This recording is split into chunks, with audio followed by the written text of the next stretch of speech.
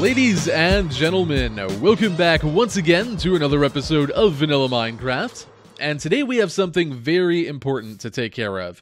Something that I've put off for a very, very long time. In fact, quite a lot longer than I even realized until I went back and checked just a minute ago.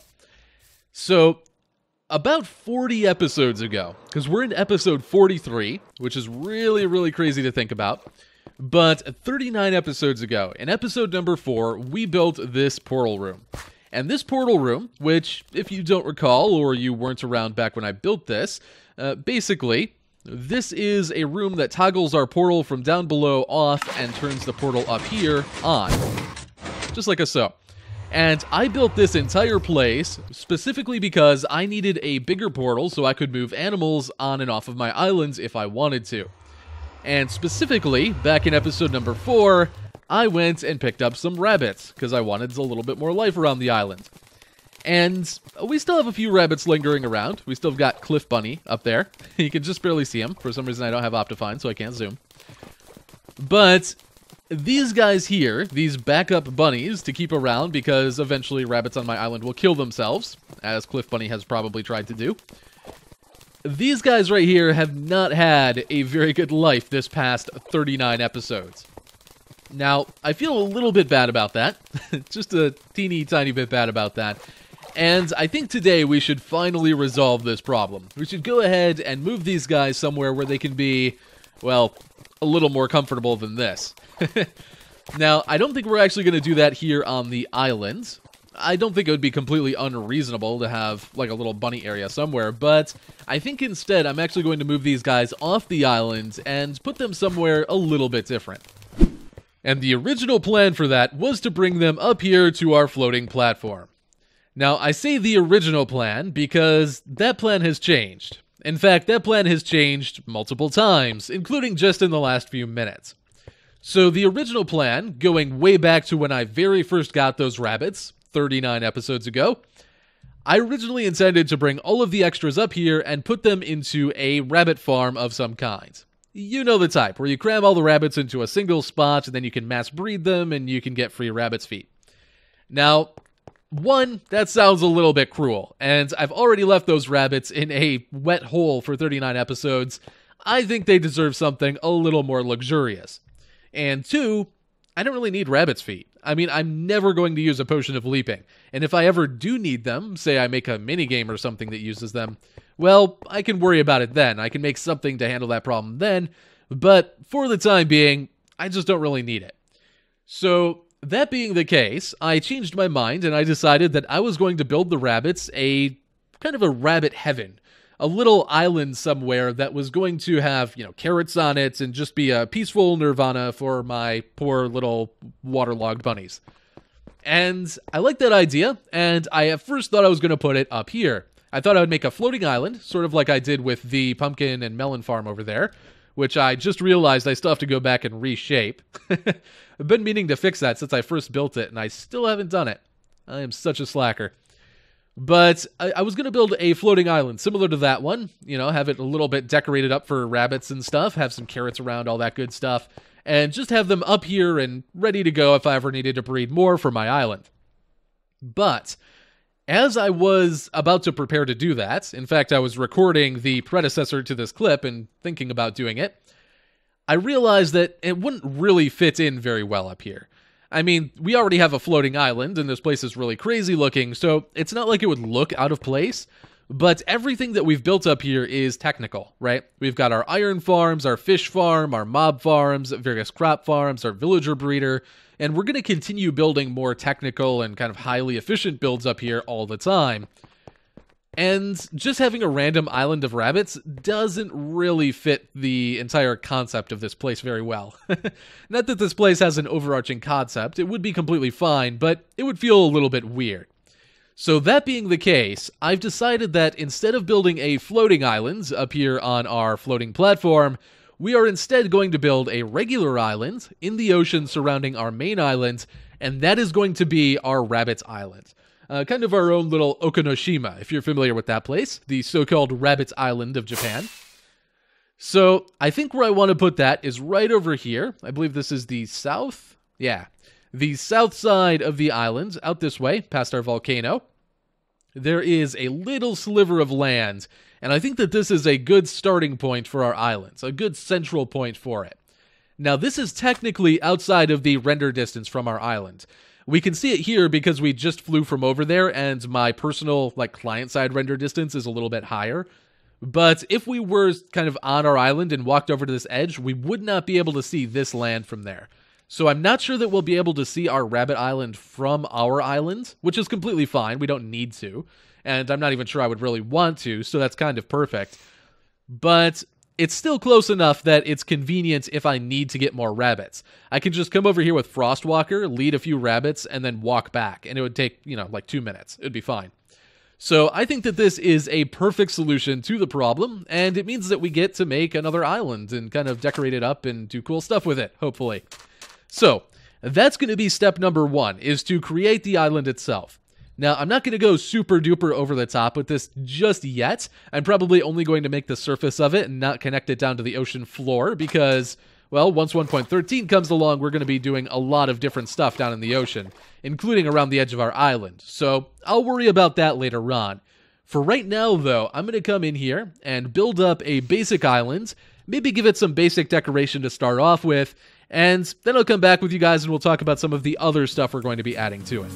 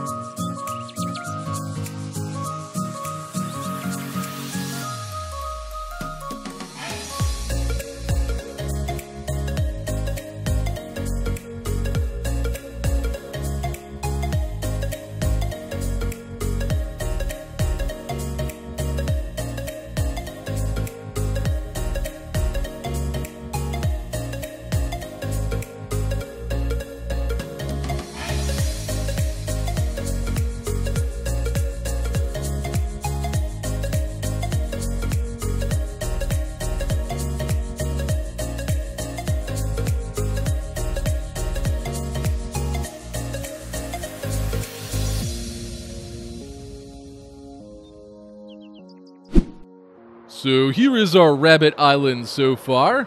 Can we make it? Ow, not really. so here is our rabbit island so far, and I think that turned out okay for what it is. I mean, it's pretty basic stuff. It's the same kind of thing we do anytime we landscape anything. But I think as a place just to store some random rabbits, this is pretty cool. So, as a base island, I think this is nice. I mean, I would totally stay here if I was a rabbit. You got all the carrots you can eat, all the dandelions you can eat. Seems pretty peaceful. I like it. But there are still a few things I probably want to tweak. Uh, for example, the beach I think still feels a little bit rough. I'm probably going to come back through and clean that up a little bit. Probably expand it out a layer or two underwater. I don't want to go all the way down to the ocean floor today. Uh, as I described earlier, once we're redoing all of the ocean stuff underwater later on, well after 1.13, then I will probably eventually tie all of this in, but for the time being, just expanding out a little bit will probably make it look a lot nicer. I also want to redo the cliffs a little bit and kind of fix those up, especially on the backside. I need to add a little bit more detailing over here to our waterfall. Just uh, the area beneath it's a little bit plain. I need to kind of dress that up a little bit. And what else? Oh yeah, the cave. I added in this little cave, and I mean, it's okay. I could detail it kind of like we do over on our island, and it would look nice as like a just a generic little cave. And we could also expand it. There's plenty of other space back here, but dang it. Uh, but I figured a small one would be okay. I don't really know though. I mean, it doesn't really serve a purpose. Not that most of this island does, but I'd kind of like it to.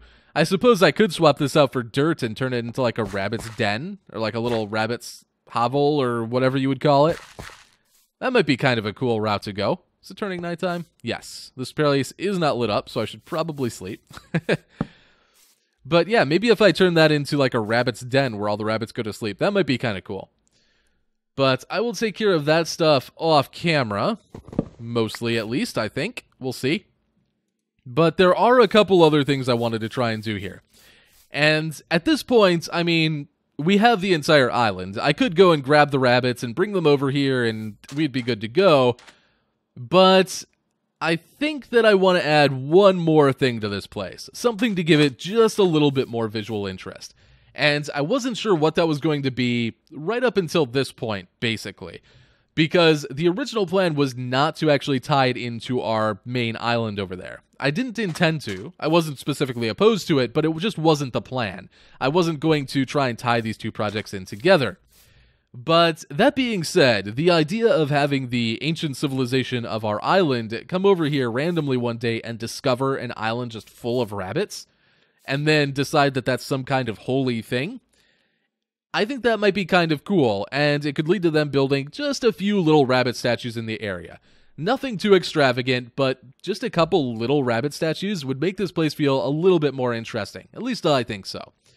So, I'm going to try and do that, and it might sound a little bit silly. I did actually look into this, and it turns out that this concept is not that outlandish. It's actually the Aztecs, um, which are a heavy influence on our main islands over there.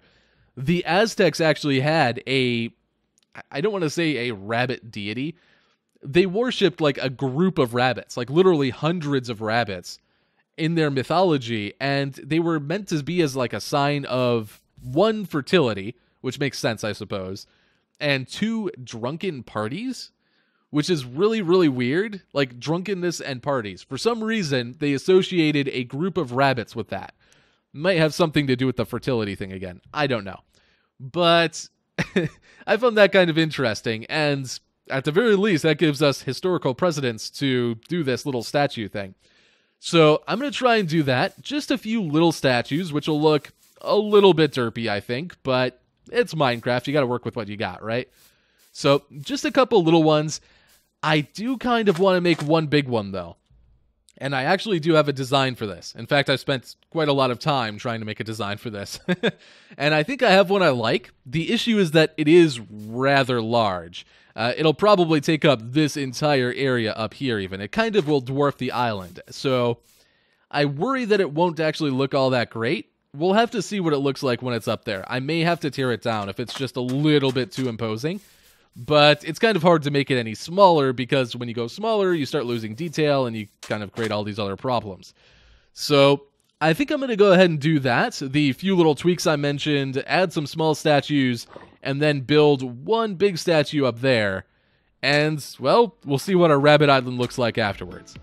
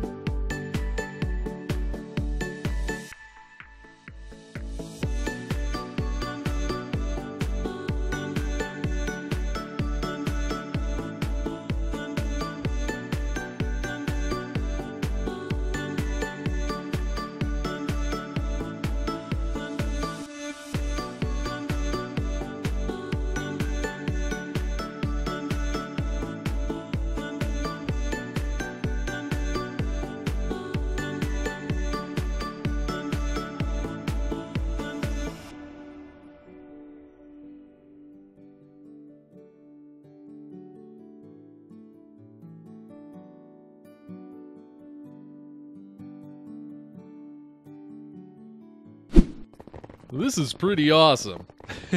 These little guys keep up perfectly on this stuff. I could even run, actually, and they'd still keep up perfectly well. So that's all good. We are fast approaching our Rabbit Island, the home for these uh, little bunnies. Here we are. and, well, I hope they like it here. So I added in the statues. Obviously, the little ones look a little derpy. Like this one's meant to be like a standing rabbit, and this one's a normal, a normal rabbit. Um, obviously, they look a little silly, but well, I mean, you can't really do much better than this in Minecraft, right? At least in vanilla Minecraft. Not used to having a little bunny army following me. But yeah, I tried for quite a bit to try and come up with something a little bit better than these, and you really can't. It's hard to make something that conveys a rabbit any smaller than this, and even going bigger, it's honestly tricky to get this shape. And it's not until you start reaching that scale up there that you can start giving it actual detail. Now, I still don't know how I feel about that. I should probably uh, pop my bed down and can I sleep? I can keep them leaded while oh, hello. I'm getting getting cuddles. Cuddle bunnies. Okay. Uh, I'm still not entirely sure about this statue up here. It does kind of dwarf the rest of the island a little bit. I mean, it feels really, really big, right? But I don't know. I think it's okay. I don't think it's terrible or anything like that. I'm not entirely sure about the leaves that are on it. That was meant to try and break it up a little bit because it is just all solid gray since it's just a normal stone statue and everything kind of blended together. So I figured that would help. Maybe if I rearrange them a little bit. Right now it feels a little weird. It feels like they just kind of dropped on top of it. But I don't know. I'll experiment with that a little bit off camera, I suspect. And I also redid the little rabbit burrow in here or rabbit den or whatever they're called. And I think that feels kind of cool. I mean, it's very simple and kind of pointless, but I like it. Let's go ahead and unlead these guys. How do I... There we go. You're free to go, bunnies. Yay. Okay. there. Okay, so now we got all of our little bunnies. They're happily in their little rabbit den and freaking out now that I'm not holding a carrot. And I think our rabbit island is more or less complete at this point. So, like I said, maybe some little tweaks to the statue, and of course, when we redo our oceans and stuff, we will eventually come over here and swap those boots off now. We'll eventually come over here and tie this all in, but I think in general, our rabbit island is pretty well done. I did only do one little bit of the of the kind of beach going into the ocean.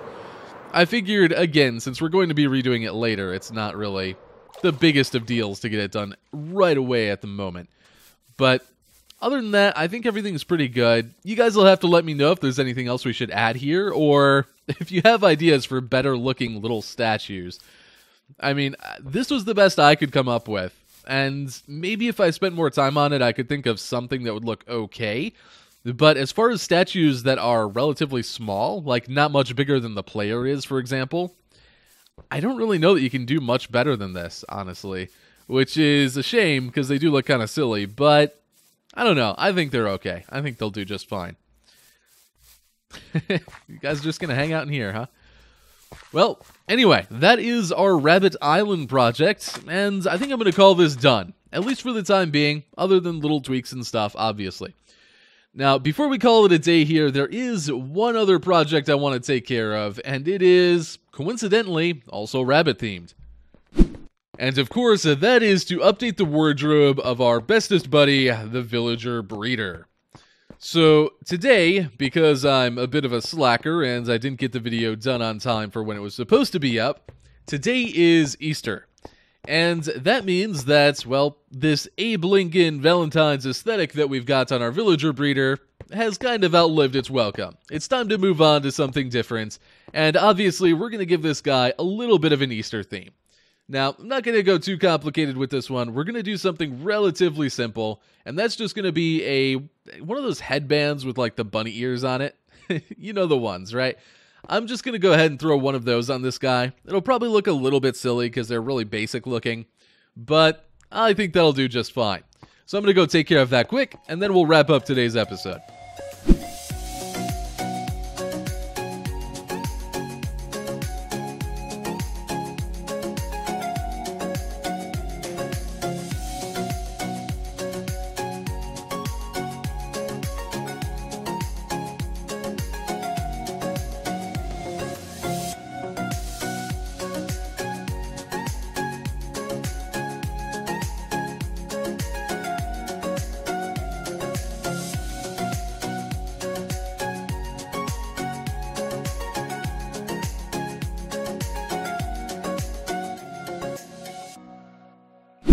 Isn't he adorable?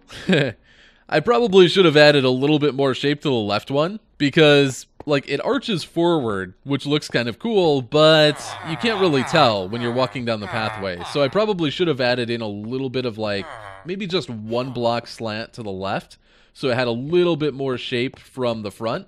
But other than that, I think it turned out okay for what it is, which is just a silly little decoration on our villager breeder. and yeah, I think I'll leave that how it is for now, and I think I'm also going to leave this video for now, because, well, I need to go edit it and get everything taken care of, and hopefully get it uploaded in time for when I want it to be up, because, well, I'm already a day late. so, I'm going to go take care of all of that. Uh, hopefully you guys enjoyed today's video. Be sure to tell me if you have any ideas for our little rabbit island and things we could do to change it or improve upon it. And, well, I hope you guys have an amazing Easter or just amazing Sunday, depending on how much you care about holidays. And I'll see you guys next time. So take care. Bye bye.